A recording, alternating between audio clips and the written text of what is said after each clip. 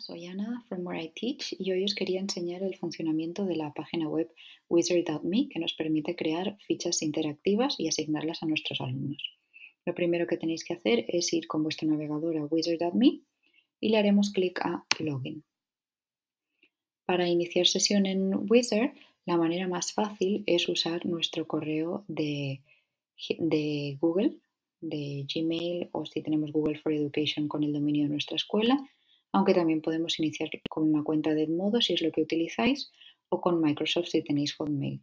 Si no lo queréis hacer con ninguna de estas tres opciones y preferís entrar registrándoos, podéis sign up aquí abajo, donde, pone New to Wizard.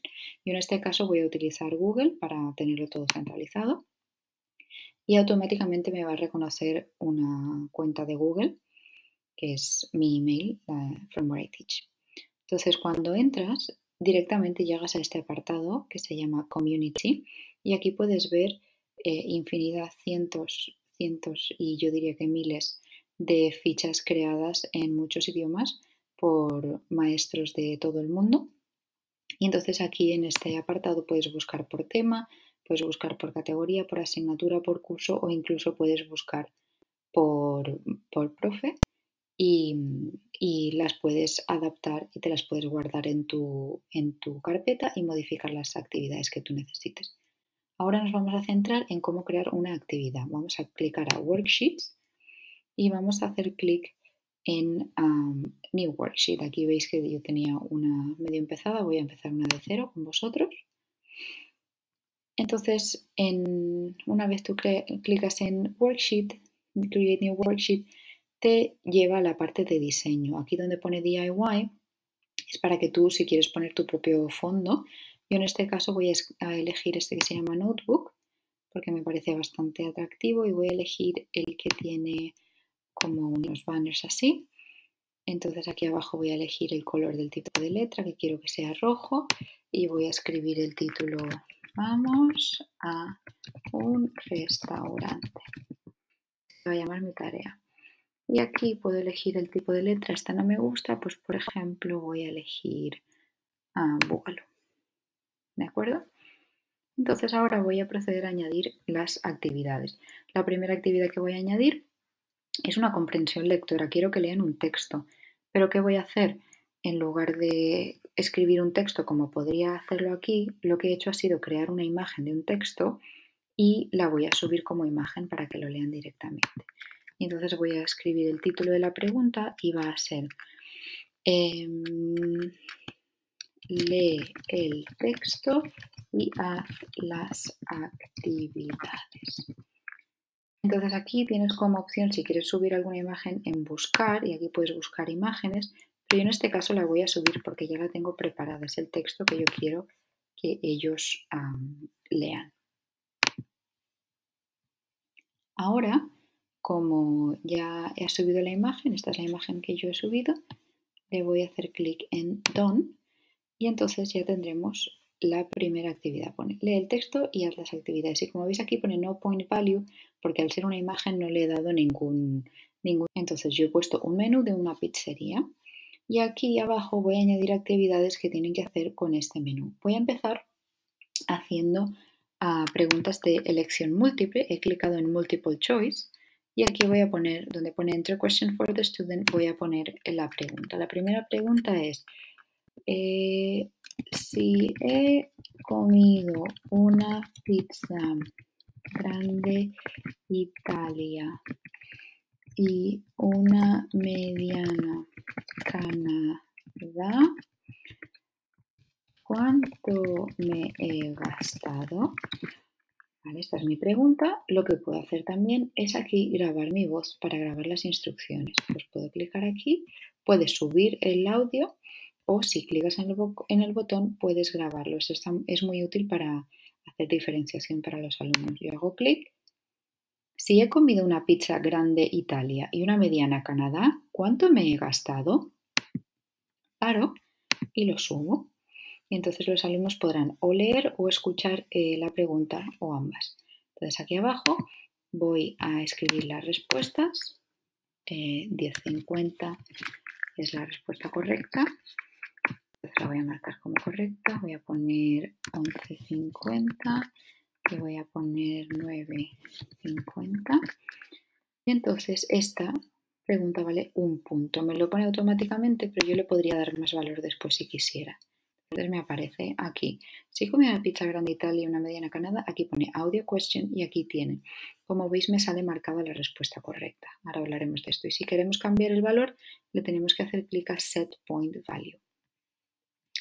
Bajo para abajo y voy a añadir otra de opción múltiple. En este caso voy a poner de qué tipo de comida es este restaurante Voy a grabar, bueno, podría grabar la voz también. Y ahora en este caso no quiero que las respuestas sean palabras, quiero que sean imágenes. Pues voy a subir una imagen, voy a poner esta de sushi. Voy a hacer clic aquí, voy a poner esta de paella. Y voy a hacer clic aquí y voy a poner esta de pizza que es la que voy a seleccionar como correcta. ¿De acuerdo? También podemos elegir que las preguntas aparezcan en columnas, así, pero las imágenes no quedan demasiado bien. Los voy a poner en fila igualmente. Clicamos en Done y ya está hecho. Entonces tengo aquí mis dos preguntas de elección múltiple. Como veis me marca la respuesta correcta. La siguiente tipo de pregunta que voy a hacer va a ser una pregunta abierta, open question. Y entonces voy a escribir aquí si, si fueras a cenar a este restaurante, ¿qué pizza pedirías? ¿Por qué? Le voy a poner más instrucciones. Podría volver a grabar la voz y a esto le he asignado un valor de, 4, ah, de un punto también. Y aquí la respuesta pone si queremos una línea pequeña, 4 líneas, 8 líneas. Voy a poner 8, a ver que me escriban más para que les deje más espacio. Entonces le doy a ton. Si le quiero cambiar, como esta es de escribir y, tiene que hacer bastante, pues yo voy a subir y le voy a poner que esta valga 5 puntos. Lo he cambiado aquí. Entonces en total la ficha vale 7 puntos, porque es a 1, 2 y 3. Voy a pasar ahora a crear otra tarea y voy a hacer una de matching, de relacionar. Y voy a poner relaciona los ingredientes con la pizza a la que corresponden. En este caso quiero que suban al texto y que vean que lean los ingredientes y los sepan relacionar. Pues voy a hacer dos columnas. ¿Ves? Matching pairs. El de la izquierda va a ser el nombre de la pizza, por ejemplo, ruta 66, ruta 66. Y aquí al lado le pondré el que se le asocia directamente, que va a ser no, salsa barbacoa, pollo, champiñones, cebolla. Salsa barbacoa, champiñones, cebolla. Y una vez clico, me da la opción de añadir más. Como veis, he acabado de, he puesto en este caso tres pizzas solo y automáticamente me da un valor de un punto por cada relación. Le hago clic a Done y en total ahora mi tarea vale 10 puntos. Como podéis ver, ya te sale contestado aquí como profe, a ti te salen las respuestas correctas. Voy a hacer otra actividad. Esta a mí me gusta mucho, que es Fill on an Image. Voy a subir una imagen, en que yo le he pedido que subiera, ha sido esta, de, de una pizza. Y entonces le voy a poner un título que va a ser rellena la pizza con sus ingredientes. Como veis, no os lo he enseñado antes, pero el texto se puede personalizar también el tamaño, el color, puedes añadir emojis, eh, links, etcétera, ¿de acuerdo? No quiero poner más instrucciones, otra vez podría grabar la voz de las, de las instrucciones. Como veis aquí me sale un cursor. Pues yo en el cursor, por ejemplo aquí, yo aquí quiero que escriban tomate. Eh, aquí quiero que me escriban pimiento. Aquí quiero que me escriban masa. Aquí cebolla. Y aquí queso y aquí champiñones. ¿De acuerdo? Estas serían las respuestas correctas. ¿Qué pasa? Que si hacen una falta de ortografía, se lo va a contar como incorrecto. Pero una vez yo entre a corregirlo como profe, si a mí no me interesa, no estoy mirando la ortografía, sino a lo mejor, por ejemplo, estoy haciendo algo en Science y lo han escrito con una falta de ortografía en inglés, pero yo quería ver que, lo, que supieran el nombre de, de esa parte, pues lo puedo dar como bueno, pero eso lo haremos luego, ¿de acuerdo? Y otra vez me da un punto 1, 2, 3, 4, 5, 6. Me da un punto por cada respuesta. Pero eso lo podemos cambiar nosotros siempre. Como veis aquí pone point value 6. ¿De acuerdo? Entonces, la siguiente que yo voy a hacer va a ser un filling the blanks. ¿De acuerdo? Y aquí voy a poner las instrucciones y voy a poner completa las oraciones. Y entonces aquí tienes diferentes opciones. Puedes hacer un word bank, un banco de palabras, un banco de palabras en texto, donde ellos los puedan ver, o que hagan clic. A mí que me gusta más es de hacer clic. Cuando clicas none es que ellos lo tienen que escribir y lo tienen que escribir bien. Entonces, ¿qué vamos a hacer? Vamos a escribir la frase, por ejemplo, la masa se hace con harina. Yo quiero que harina voy a hacer clic en blanket y esa va a ser la palabra que se va a desplegar. Voy a poner la pizza hawaiana lleva piña. Yo quiero que piña sea la palabra que ellos vayan a desplegar. Y otra más.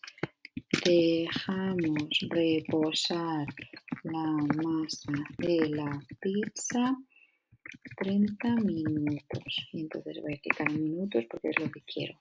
¿De acuerdo? Y otra vez me asigna tres puntos porque he puesto tres blancos. ¿Sí? Y como veis aquí nos sale la respuesta correcta. Y finalmente voy a poner em, dos actividades más. Una va a ser un vídeo. Y es que quiero que al final de todo eh, vean un vídeo de una receta casera, de pizza casera, para que ellos lo hagan en casa. Pues le voy a colgar este link aquí y voy a poner eh, mira este vídeo. Voy a poner directamente vídeo. Vídeo. Y aquí voy a poner mira este vídeo y prueba la receta en tu casa. Entonces este es el vídeo y le doy, lo puedes acortar si quieres también, ¿de acuerdo?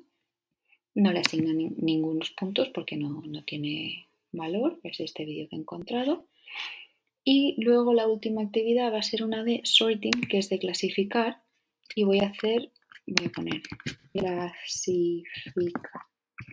Y voy a poner el que me tienen que clasificar. Utensilios o ingredientes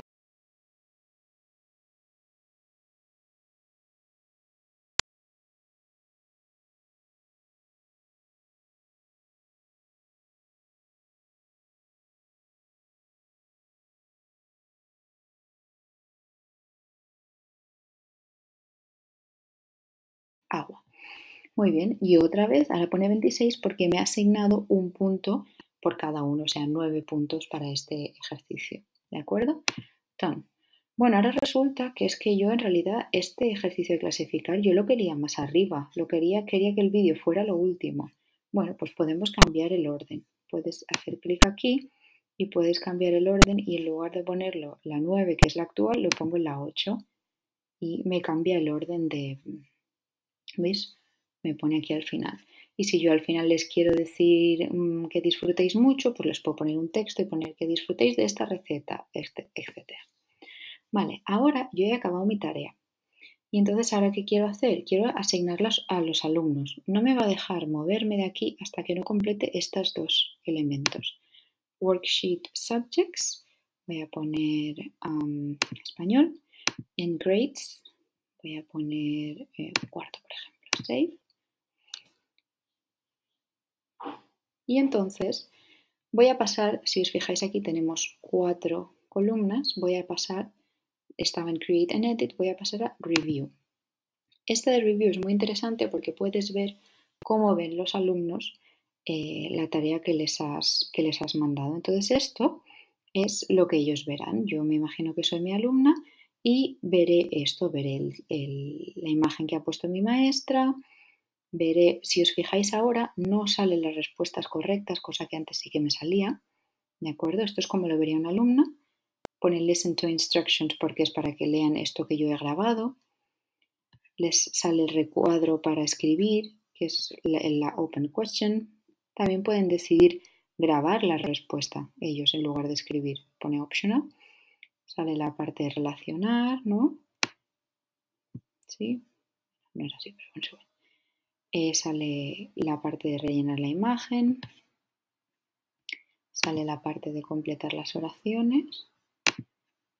Y la de clasificar rayador, utensilios. ¿De Que ya hemos revisado nuestra tarea y nos parece que está todo correcto. Hemos hecho recordamos el crear, lo hemos revisado en review como si fuéramos un alumno y pasamos a assign to learners, asignar a los alumnos, ¿de acuerdo? En este, en este lugar yo recomiendo dos cosas. La primera, donde pone Automatic Feedback to Students, yo le clicaría así, ¿de acuerdo? ¿Por qué? Porque así cuando ellos entreguen su tarea la podrán ver corregida abajo. Si no le clicamos a esto, verán sus respuestas como si fueran correctas, les saldrán todas en verde, pero si les clicamos así, eh, podrán ver lo que han hecho correctamente y lo que no.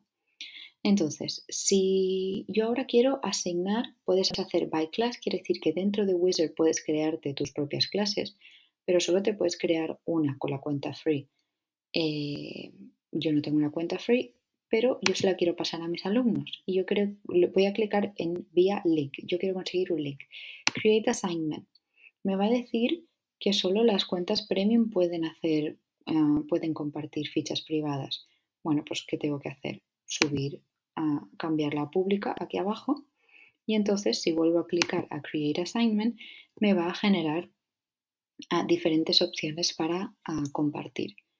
Primero, los settings si quieres que la, ficha esté abierta o cerrada, quiere decir si pueden tener acceso todavía o no. Aquí, si le clicas al relojito, podrás tener, ah, les puedes poner un límite de tiempo, en plan solo tienes tres minutos para hacerlo. O puedes eh, elegir una fecha en que se abra o se cierre la tarea, ¿de acuerdo? Em, o puedes desordenarles las preguntas. Imagínate que si estás en la escuela, vas al aula informática y lo tienen que hacer todos a la vez quieres que no se copien, pues le das a Shuffle y es desordenar. Estas son las maneras en que les podemos compartir a los alumnos.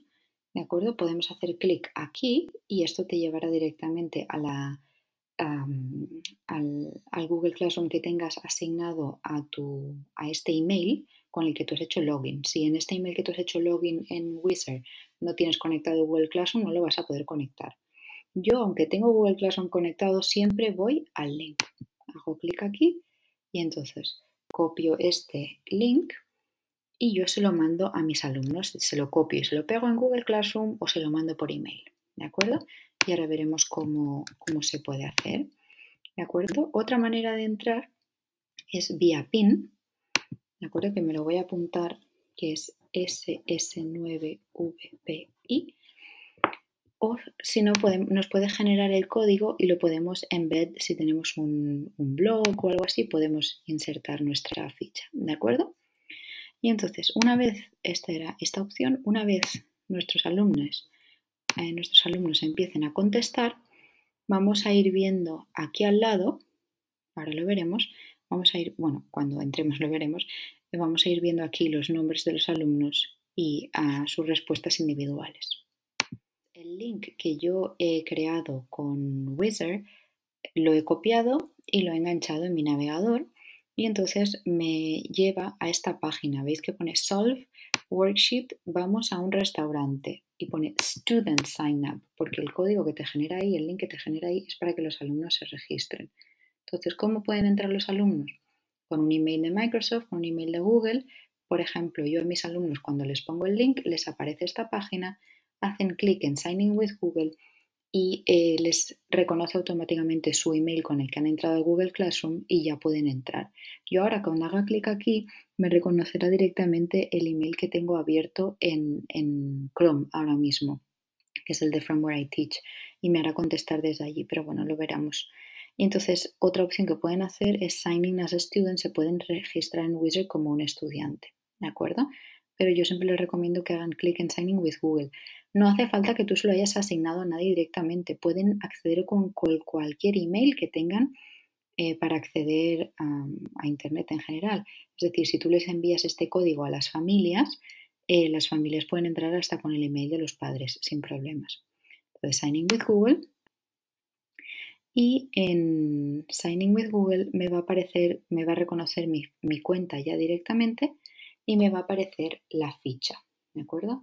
¿Veis? Así, es como lo verán los alumnos. Lee el texto y haz las actividades.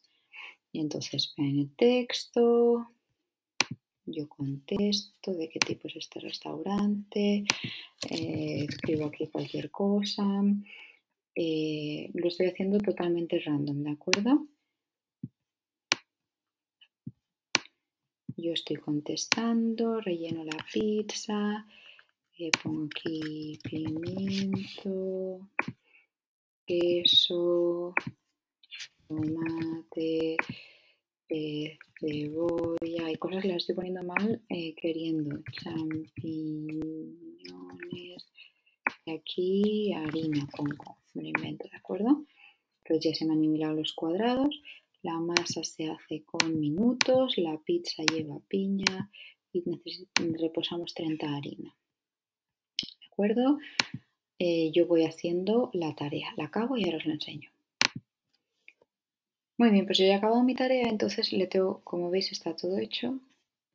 Cosas mal y cosas bien. los alumnos, y esto es muy importante que insistáis, le tienen que hacer clic en Hand in Work, pero es que aquí no han acabado, porque si solo le hacen clic una vez, va, vas a ver que pone Working, no vas a ver su resultado final. Tienen que hacer Confirm, si no, no vas a ver el resultado. Entonces ellos, como le hemos activado el compartir el feedback, pueden bajar abajo y ver lo que han acertado y lo que no. Yo veo que esta pregunta la he hecho bien. Aquí pone tiempo porque quiere decir que el profe la tiene que revisar. No, no la podemos corregir. Aquí he hecho una de tres, me pone las que he hecho bien, las que he hecho mal. Aquí pone tres de seis, me pone, por ejemplo, esta la he hecho bien, esta la he hecho mal. ¿De acuerdo? Eh, y me pone lo, el resultado que he tenido en cada categoría. ¿De acuerdo? A Worksheets y puedo hacer clic aquí le doy a Answers, a respuestas. Y como veis me va directamente a la ficha, donde justo en el creador de fichas que estábamos usando antes, Create and Edit, Review, Assign to Learners y a esta parte de aquí que se llama Answers. ¿De acuerdo? Y aquí me aparece el nombre del alumno que ha hecho la tarea ya. En este caso, Ana, from where I teach, que soy yo, y me pone que he sacado un 14,33 de 26. He estado dos minutos trabajando aquí y lo he hecho a esta hora. Mira que ahora estoy grabando el, tutorial. Entonces, por ejemplo, esta sale que es correcta, es correcta y aquí pone eh, sobre 5 puntos. Yo aquí le voy a dar 0 claramente porque no he escrito nada, ¿de acuerdo? Ah, relleno la pizza con sus ingredientes. Pues imaginar que, por ejemplo, pimiento, eh, bueno, yo creo que se la voy a dar como buena porque no está muy claro si pone aquí pimiento o no. Pues le hago clic y yo como profe le puedo dar como buena una respuesta que en realidad sale automáticamente mm, mal. ¿De acuerdo? Lo podemos eh, revisar aquí y entonces cuando lo acabemos le damos a Apply Feedback y pone Your feedback is now visible by the student. Bueno, sí, sería visible si los alumnos volvieran a entrar para ver el, feedback. También le podemos dejar una, nota aquí abajo. Raramente vuelven a entrar, así que yo lo que hago es coger la nota final y se la copio en, Google Classroom. Y ya para terminar, os quería compartir, porque mucha gente me ha preguntado sobre la opción de pin, eh, este pin de aquí. Em, Igualmente, hace que los alumnos tengan que entrar con algún tipo de email. No es como en algunas otras webs que puedes directamente entrar con el código de, alumno. Tienen que ir a wizard.me y arriba a la derecha pueden ah, poner el, código. Ahora os lo enseño. Entonces, si queremos que utilicen el PIN, tienen que ir a wizard.me y aquí donde pone class code eh, pondríamos el código, que en este caso es SS9VPI. Dejamos a Go y otra vez aparecería lo mismo que cuando les hemos dado el link. Vamos a un restaurante, Student Sign Up. Estamos en las mismas, es lo mismo dar el link que dar el código, porque igualmente tienen que acceder o con un email externo o registrar.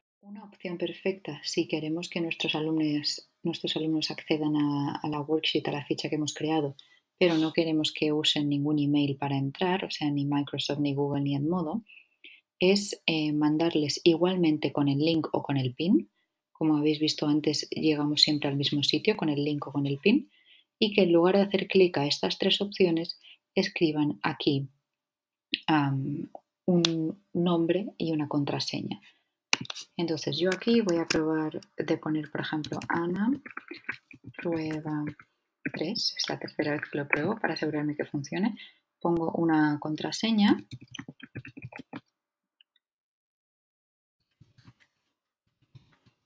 y me pedirá que la confirme.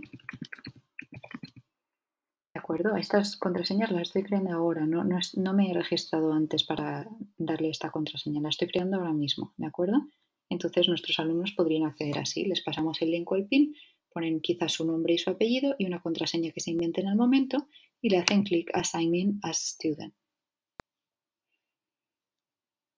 Una vez estén dentro, como podéis ver, hacen la tarea.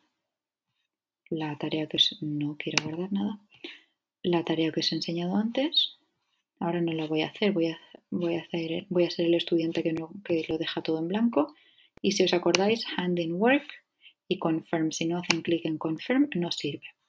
Y entonces ahora vamos a ir a la vista del profe para ver eh, si se ha grabado o no se ha grabado. la vista del profe y aquí tengo la ficha que he hecho, hago clic en los tres puntitos y me voy directa a Answers y en Answers voy a ver las respuestas de mis alumnos. Veis que tengo cuatro respuestas. Esta de Anna from Where I Teach es la primera respuesta que hice accediendo con Google y estas tres han sido tres ah, pruebas que he hecho entrando con PIN y con link creando un usuario desde cero sin email. O sea que podéis ver que los profes podemos ver los resultados hayan entrado con email o hayan entrado sin email. Muchísimas gracias por haber visto este video tutorial sobre wizard.me. Espero que os haya sido útil y ya sabéis, si tenéis alguna duda no dudéis en contactarme. Muchas gracias.